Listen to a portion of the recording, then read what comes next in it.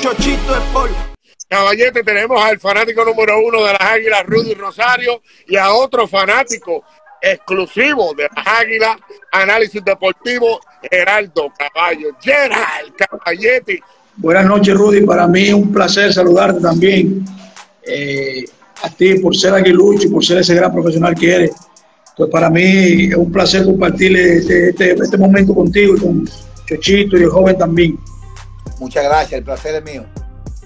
Estuvimos hablando de ti antes de que entrara, de tus logros, tus hazañas, tu carrera tan exitosa, eh, que te consideramos eh, de los mejores campos cortos de todos los tiempos en Latinoamérica, y especialmente en República Dominicana. Caballetti, cuando tú vestías ese uniforme de las águilas, ¿qué te pasaba por la mente y por qué lo hacías con tanta pasión?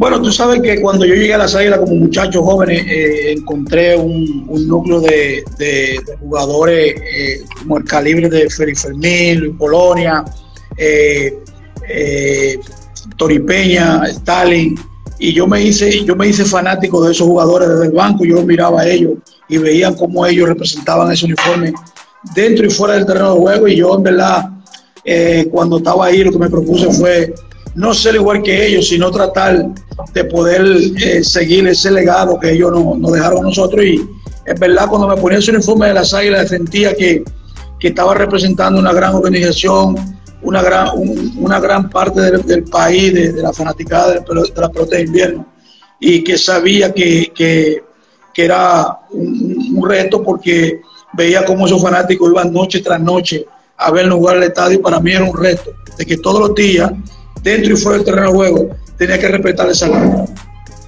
en los playoffs, específicamente postemporada, tuviste unos, unos datos increíbles. Eh, diste 32 dobles en 150 partidos jugados, 165 hits, 101 carreras anotadas, 7 cuadrangulares, que te hacen líder todos los tiempos. O sea, cuando llegaban esos momentos de postemporada, obviamente hay peloteros que, que se, se apretaban, pero tú nunca fuiste de eso. Eh, ¿Qué te pasaba por la mente cada que tú tenías que coger un turno así con gente en base y el partido estaba en la línea? Bueno, para, que- como tú sabrás, nosotros eh, como equipo tu- tuvimos el privilegio en esos tiempos de, tener el estadio abarrotado todos los días.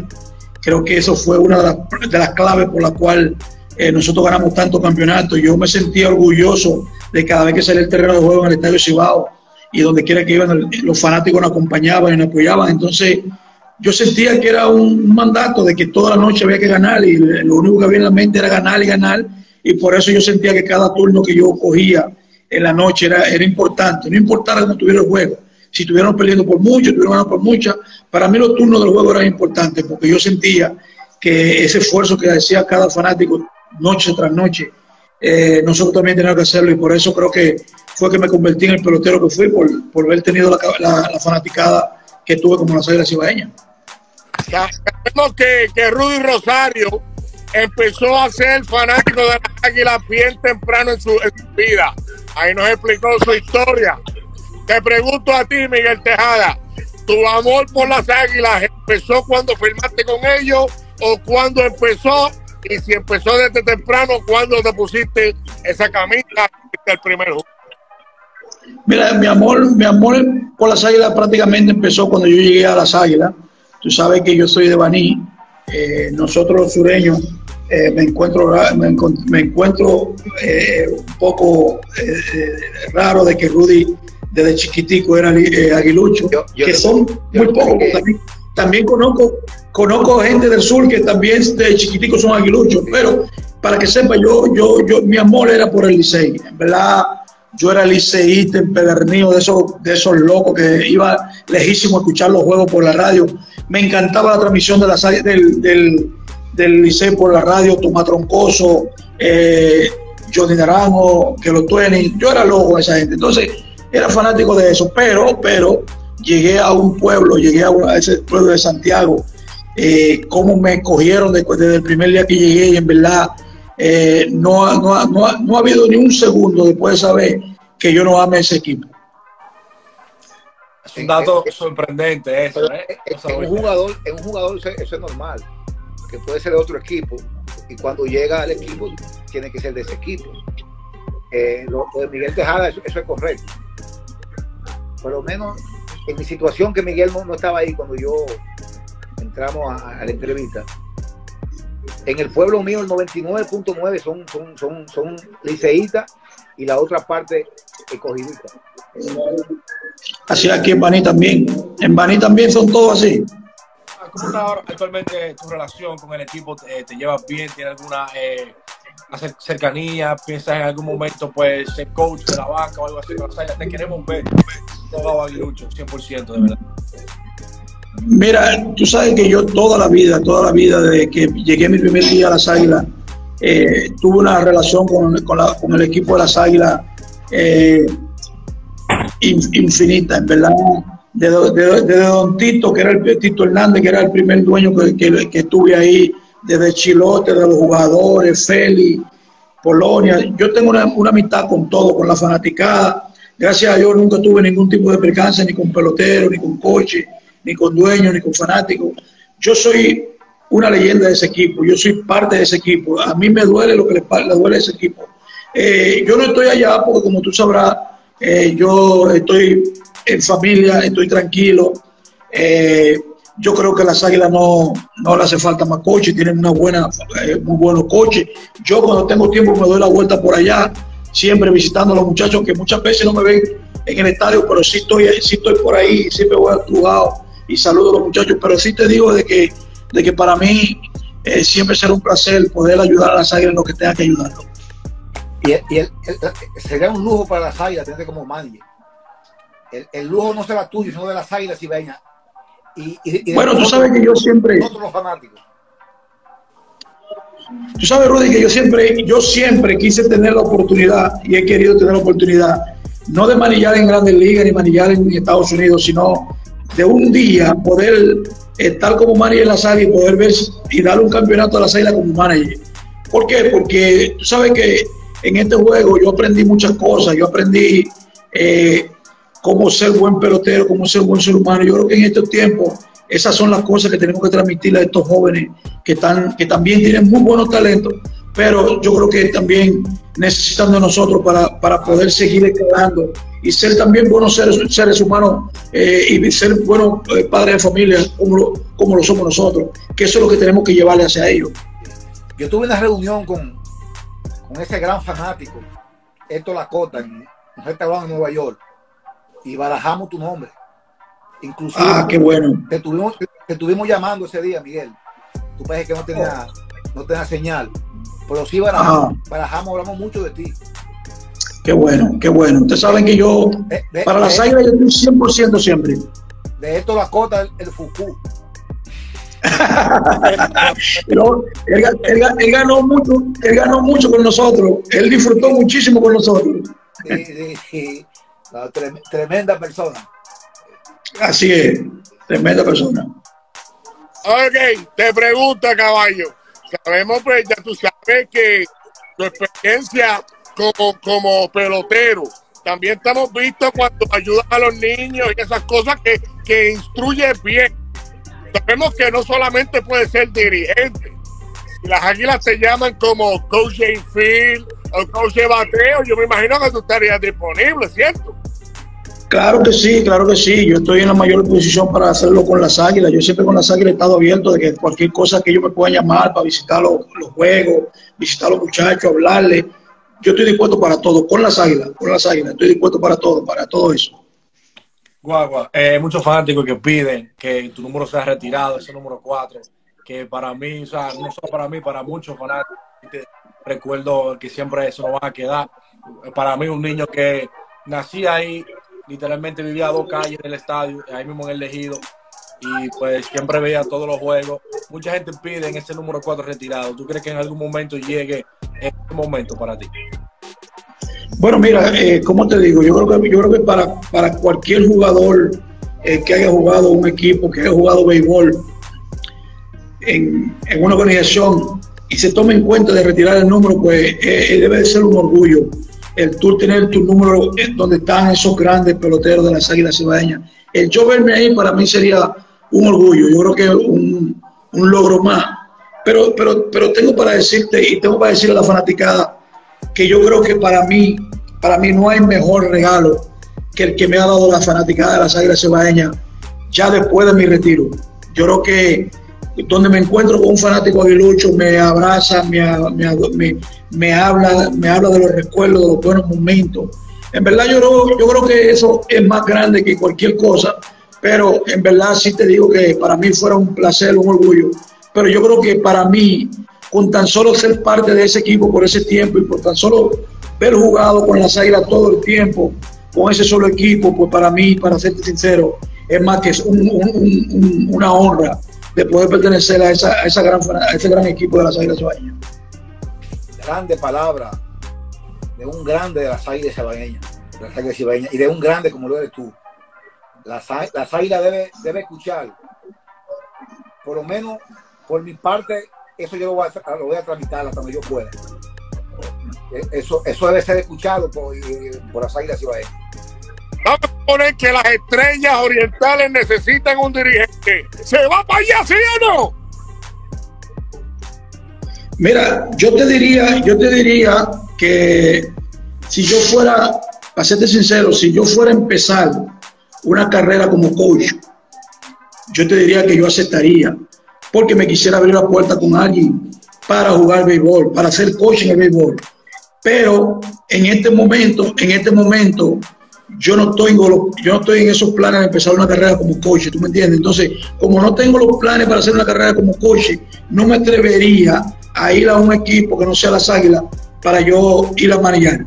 Entonces, tú sabes, tú sabes que eh, en Estados Unidos se usa de que tú jugaste toda tu carrera con los Yankees y después te ven cochando con los Dodgers.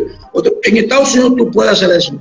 Pero en mi país, en mi país, cuando tú eres una leyenda de tu equipo, tú tienes que ser cuidadoso. Yo, no, eh, para serte sincero, eh, yo en verdad no necesito escuchar en este momento. Por eso te digo que si voy a, si voy a, el talento de lo que yo aprendí de Tony Peña, de Polonia, de Félix, de Stanley, lo que yo aprendí de ellos, lo que yo aprendí a ser ganador, lo que yo aprendí a ser profesional de ellos, me gustaría devolvérselo a los jugadores jóvenes que vienen subiendo de las águilas, porque yo quiero que ese legado que nosotros dejamos pues siga surgiendo y siga manteniéndose en mi equipo las águilas.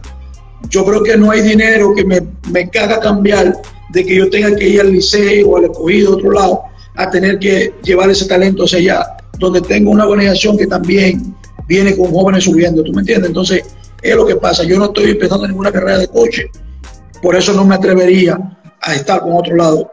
Yo sacaría el tiempo para hacerlo con las águilas. 2013, Miguel. Eh, ganamos invicto y tú fuiste parte de eso. El, el momento del único equipo que ha logrado eso invicto eh, en el clásico del 2013.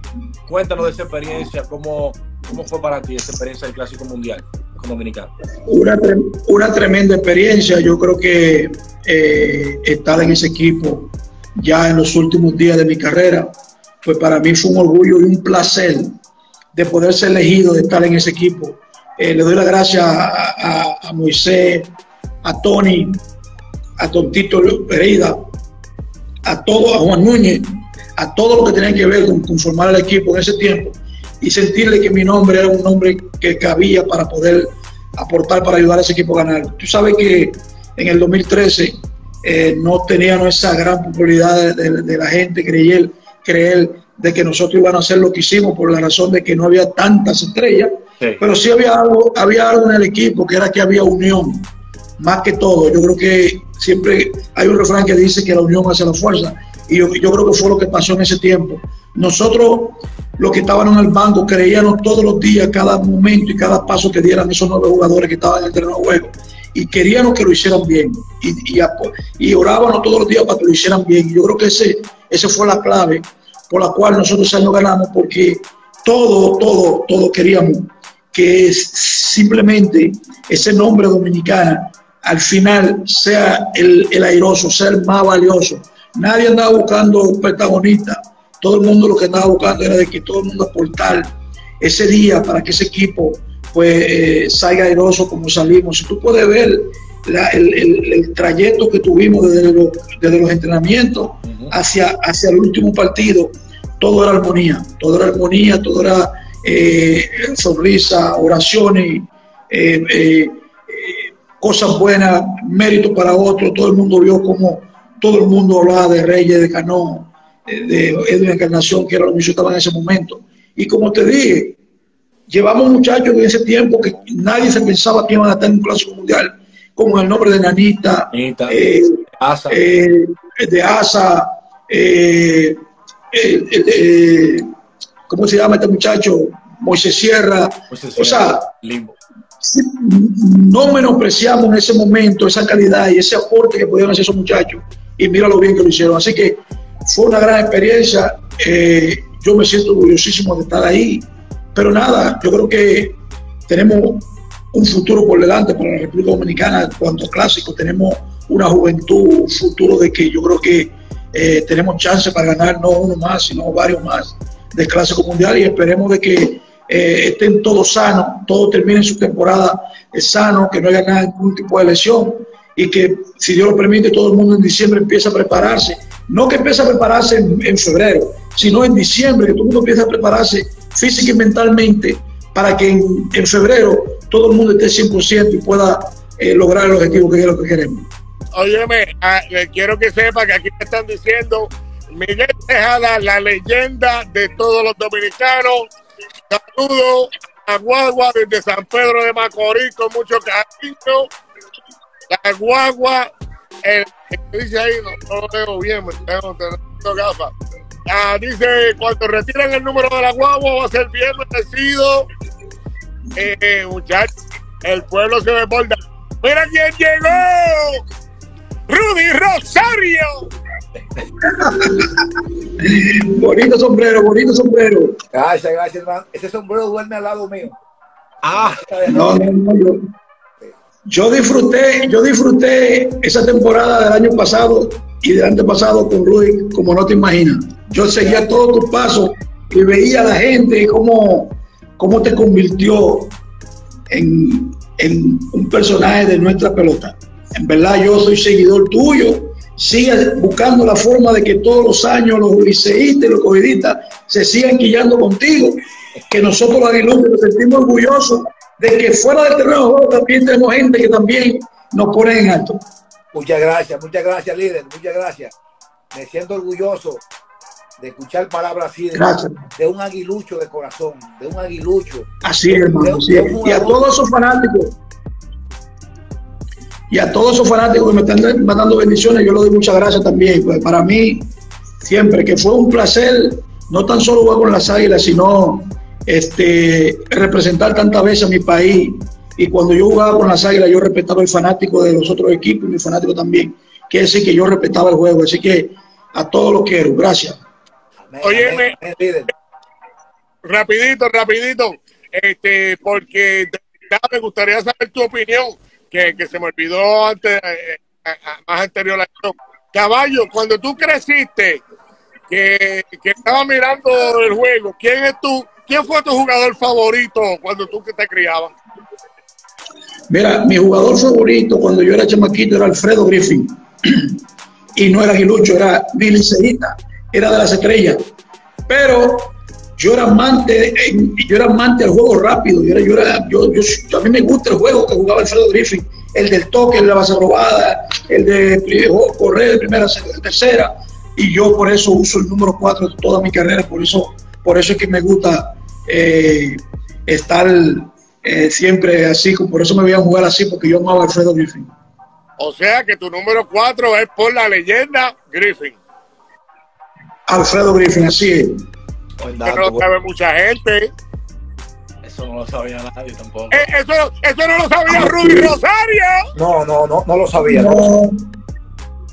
Alfredo Griffin es mi, mi pelotero favorito de todos los tiempos. Óyeme, y ahora que estás viendo, porque sabemos que tú sigues las águilas de cerca, este, ¿qué jugador te gusta en esta generación de las águilas? Bueno, tú sabes que las águilas ha ido de generación en generación. Tú sabes que eh, nosotros tenemos muchos peloteros de las águilas y que son aguiluchos, aguiluchos, mil por mil, ¿me entiendes? Tú sabes que hubo un tiempo, hubo un tiempo donde eh, Bernicatro fue una sensación, ¿me entiendes? Después de ahí vino, de ahí vino la sensación de, de, Carlos Gómez, eh, Juan Carlos Pérez, luego vino el tema de Juan Lagares, eh, antes de eso Melqui Cabrera, tuvo una pausa por muchos años que no jugaba en el equipo, pero, pero eh, pertenecía a otro y, y, era una sensación, era de, esos muchachos jóvenes que llegaron a, en, esos tiempos. En este caso de ahora, soy Almonte, eh, Santana. O sea, si, si yo te digo, si yo te digo cuál es mi favorito, te miento, porque todos me gustan, todos me gustan cómo se entregan. Vi cómo se entregaron aquel año que ganaron el campeonato, vi cómo se entregaron el año pasado, vi cómo cómo se esforzaron a, llegar donde llegaron. Lamentablemente, eh, el juego de pelota es así, a veces el mejor, a veces no gana. Y, pasó, pero, pero vi cómo se fajaron, en verdad. Eh, para mí creo que tenemos una buena generación. Para mí me gustan todos. Yo lo que espero es de que ellos entiendan de que el juego hay que jugarlo duro, el juego hay que ganarlo antes de entrar al terreno de juego. Y eso es el lema de los Águilas Cibaeñas. Nosotros ganamos el juego antes de estar en los juegos. Por eso era que le decían al Estadio de el Valle de la Muerte. Ahí está, ahí, está el dato, ahí está el dato, Luisito, que tú me diste. Sí. Claro, estamos claros. Un, un, comentario más que está bueno. Caballete, orgulloso, estamos orgullosos de usted. Usted ha representado en grande a nuestra patria. Usted es una leyenda. Gracias, muchas gracias. Y mira, Ahora que estamos conversando aquí con ustedes, que esta, es la primera entrevista que yo doy eh, un, buen tiempo. Bueno, allá estuvimos en, Los Ángeles, Chochito, y allá hablé contigo, pero no tuve la, no tuve la chance de hablar contigo esto porque no me sentía todavía eh, eh, mentalmente preparado.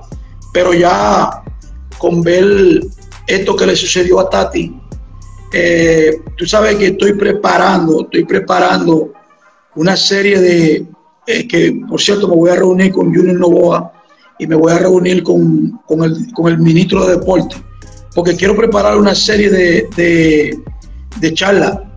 Quiero preparar una serie de charlas y lo voy a hacer honoríficamente, personalmente, para hablarle a esos jóvenes, para que no sigamos viéndonos empañados como nos estamos viendo empañados en la República Dominicana. ¿Me entiendes? Y me voy a acercar al Ministerio de Deporte, a Junior Novoa, y voy a ver si también el gobierno se involucra en esto, porque esto es algo, aquí se lo voy a anunciar a ustedes, esto es algo que nosotros no podemos esperar que las grandes ligas nos ayuden en esto, nosotros tenemos que hacerlo nosotros, nosotros tenemos que ayudar a nuestros peloteros, nuestros jóvenes, y yo creo que eh, uno de los, de los mejores aportes que yo puedo hacer de lo que yo aprendí, de lo bueno y lo malo que me pasó en mi carrera es explicándole y, y hablándole a esos jóvenes que yo creo que eh, es la mejor forma de que ellos entiendan eh, de las cosas que pueden hacer, lo pueden hacer. Así que yo más adelante necesitaré del apoyo de ustedes también, porque nos vamos a unir honoríficamente y vamos a ayudar a nuestros peloteros dominicanos. A tu orden. ¡Atención, ministro de la República! Lo, lo que haya que hacer para que esto surja.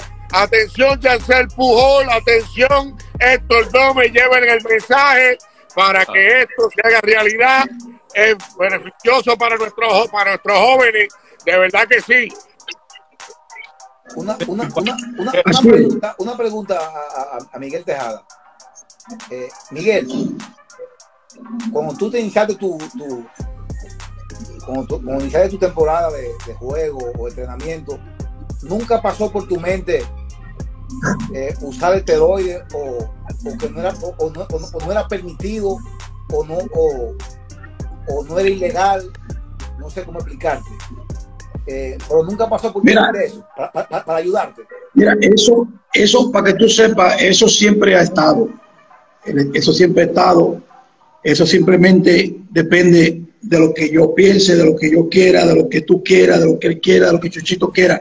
Todo el mundo tiene que ser tiene que saber las cosas que le puede hacer bien y las cosas que le puede hacer mal. Tú sabes que las sustancias prohibidas siempre han sido sustancias prohibidas, por eso llevan el nombre. Entonces tú, debes saber que la sustancia prohibida inmediatamente dentro de tu cuerpo, tú, estás siendo objeto de que tú puedes ser eh, agarrado en cualquier momento por razones de que tú tienes algo en tu cuerpo que no es de tu cuerpo. Entonces, es de lo que yo quisiera hablarle a todos esos jóvenes, es de lo que yo quisiera dedicarle mi tiempo a todos esos jóvenes, porque eh, esto no se trata. Dame un chance ahí. O sea, sí. la primera pregunta. O sea, ¿tú sabías que esa sustancia prohibida existía y que existía para ayudarte? ¿Tú, tú lo sabías? Claro, todo eso se sabe, todo eso se sabe de que todo eso, todo lo que es ilegal para tu cuerpo, tiene claramente que debes saberlo tú. Entonces, mira, yo creo que yo creo que debemos llevarle ese mensaje a esos jóvenes. Yo creo que no podemos dejar que la MLB sea la única que esté haciendo un esfuerzo para que para mejorar el juego. Nosotros los dominicanos, nosotros los que ya fuimos, los que estuvimos ahí, los que en un momento u otro también cometimos errores, debemos unirnos. Yo le voy a hacer un llamado a todos mis ex compañeros de mi tiempo. Yo estoy dispuesto a hacerlo honoríficamente, sin paga, sin nada. Simplemente, si yo logro, si yo logro de que todos los años empecemos a disminuir de cada muchacho que me escuche y que capte el mensaje y empecemos a disminuir ese núcleo y ese número de muchachos que salen suspendidos todos los años, pues creo que ese será mi, mi mejor logro. ¿Por qué? Porque es doloroso de que todos los días, todos los días y todos los meses, nosotros tengamos ese mal que nos está afectando como sociedad. ¿Me entiendes? Y debemos tratar de, de ayudarnos por ahí todo.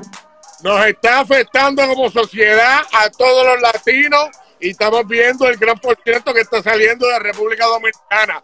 Pero el problema también es que no hay solución y aquí Miguel Tejada tiene el primer paso a esa solución. Miguel, así es, Miguel, así es. Yo, Miguel, mis redes, como bien te dije. Gracias, gracias. Más adelante, más adelante Rudy, nos comunicamos Okay, y vamos a hacer, vamos a hacer eso y todo, todo el que y, y Chochito, me, imagino que tú también eh, serás parte de, de, de- puedes ser parte de esa conferencia. Tú tienes un nombre, tú eres una figura pública. Ustedes que están ahí los tres son figuras públicas y, y nosotros podemos de nuestro tiempo podemos coger una hora o dos y dedicársela a esos jóvenes que yo estoy seguro yo estoy seguro que muchos de ellos les va a llegar el mensaje, a muchos de ellos les va a llegar y, y va a ser un logro para nosotros de que veamos de que, de que ese mal que nos está afectando, que nos está azotando, pues nosotros como dominicanos luchemos para combatirlo. correcto, Ah, no, correcto. está, está, Y- y- está todo el jaque, caballo, este análisis, zumba. Sí, que, que también me quería eh, mencionarle a Miguel que hoy precisamente también tres muchachos más salieron en positivo Sí. en la Dominica Summer League. Eh, tres muchachos jovencitos también salieron positivos en el día de hoy, suspendidos ya eh, 60 partidos en la Dominican Summer League. Y eso es algo que hay que tratarlo desde ya. Hay peloteros que, que Desde ya. saben lo que están haciendo, a otros que sí saben, pero eso es una gran solución, Miguel, la que tú dices, porque peloteros como tú, peloteros que, que han logrado todo en el béisbol, ya sea aquí y allá, eh, lo han logrado todo, lo, lo van a escuchar más. Y yo creo que esa es una excelente eh, acción y yo creo que debemos hacerla y cuente conmigo para lo que usted necesite. Estamos positivos y esperemos que eso podamos solucionarlo porque quedamos mal frente de todos con él. Mira, eh, así es, gracias. Mira, tú sabes, tú sabes, yo siempre he dicho, tú sabes por qué yo no visito los hospitales de cáncer. Yo no visito los hospitales de cáncer porque yo no sé qué decirle a una persona que tenga cáncer. ¿Me entiendes? Porque yo nunca he tenido cáncer. Pero sí sé qué decirle a esos jóvenes sobre lo que está pasando porque yo estuve ahí. ¿Entiendes? Yo ahí estuve y sé qué decirle, qué, tengo que, sé qué decirle el sufrimiento que se toma la familia, ¿me entiendes? Los amigos, los que sufren, ¿me entiendes? Entonces todo eso tenemos que tratar, debemos unirnos y pensar en esa juventud porque la, necesitamos, necesitamos que nuestro país sea lo que ha sido siempre, el país que más peloteros produce, ¿me entiendes? Eso es lo que queremos, de que en el Nosotros, mundo entero nosotros estamos disponibles en nuestra plataforma de análisis deportivo y Chochito Sport. Estamos disponibles para empujar esa información, esta charla, con mucho gusto, gratuito, gratuitamente también. Así es, así es. Chechito, Si Dios lo permite, si Dios lo permite, vamos, voy a hacer varias reuniones y voy a buscar el tiempo perfecto donde estén los jugadores eh, aquí, porque esto no es, esto no va a ser una charla para los, para los jóvenes de abajo, esto es para los peloteros de Grandes Ligas también, es para todos. Esto es para los Grandes Ligas también, que vengan, que escuchen, que nos hagan preguntas y esas cosas, porque tú no puedes saber, no sabes cuál muchacho de eso se puede alejar de esas cosas con la charla de nosotros. Cuando escucha a mí, cuando escucha a David, cuando escucha a Pedro, cuando escucha a Vladimir, cuando nos escucha a nosotros y vea, y, vea el espejo de Pedro Martínez, de, de, de, de mi papi, que vea cómo se hacen esas fiestas cuando se, cuando se gana un, un salón de la fama, todas esas cosas, ¿me entiendes? El ver cómo, cómo la gente adora a mi papi, el ver cómo adoran a Pedro, a Plari, que son salón de la fama, ¿me entiendes? Entonces tenemos que tratar de que esos muchachos vean ese espejo, ¿me entiendes? Y que, y, que, y que traten de que su futuro, al final de su carrera, pues ellos levanten la antorcha así como lo levantaron ellos, ¿tú me entiendes? Y eso es lo que tenemos que tratar de llevar. Rudy Rosario, tú ibas a decir algo.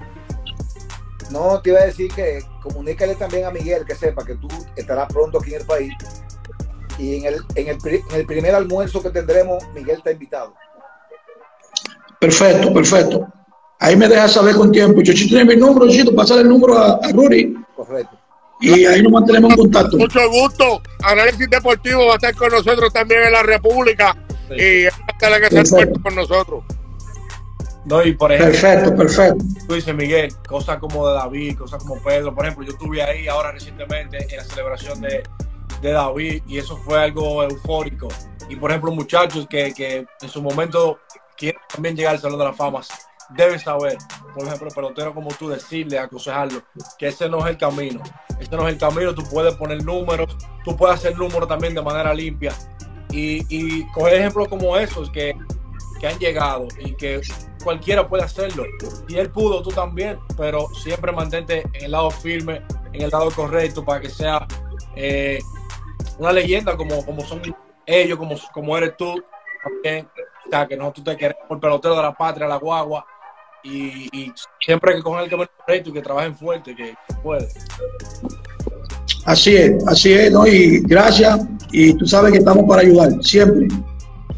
Ok, estamos a punto del jaque para despedirnos. Rudy Rosario, algo más que añadirle a este show, algo que decirle a Miguel para que para despedirnos.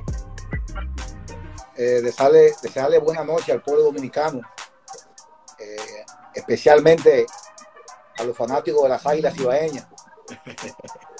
Que en la próxima temporada no se dejen ofender de, de aquella gente que no va a mencionar el nombre, que les gusta dar mucha cuerda, aquel equipo. Es un equipo, es un equipo bueno, pero eh, se caracterizan por dar cuerda. Así que estemos preparados, porque este año sí es verdad que eso va, una pela. Ok, Miguel Tejada, algo que añadirle a este show, algo que decirle a la juventud o al país. Como siempre, al país que, que vamos hacia adelante, sin dar un paso hacia atrás, vamos a, coger las cosas buenas que nos suceden en la vida, que nos están sucediendo el día a día. Olvidémonos de, de las cosas difíciles, vamos a coger lo positivo y vamos a engrandecerlo. Vamos a hacer un mejor país. No dejemos nada más que las autoridades sean que hagan el trabajo.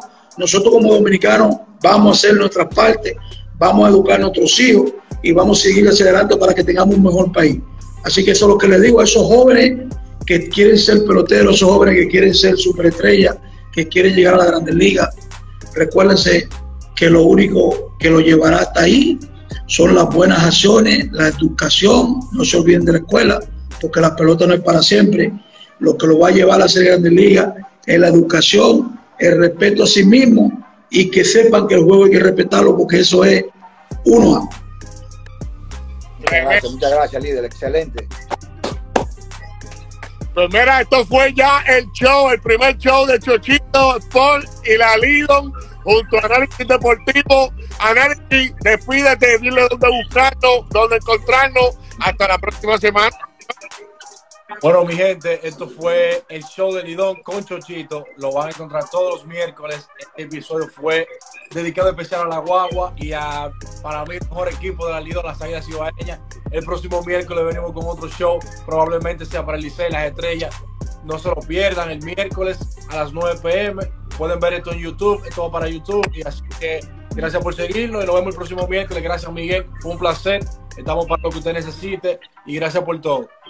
Gracias a todos por sintonizar. No se olviden de darle like al video y si no lo has hecho aún, suscríbete a nuestro canal y dale a la campanita para que recibas notificaciones cada vez que publiquemos un nuevo video. Mi nombre es Sonia Natasha y me puedes seguir en Instagram y en Twitter como Sonia Natasha. Hasta la próxima. Chao.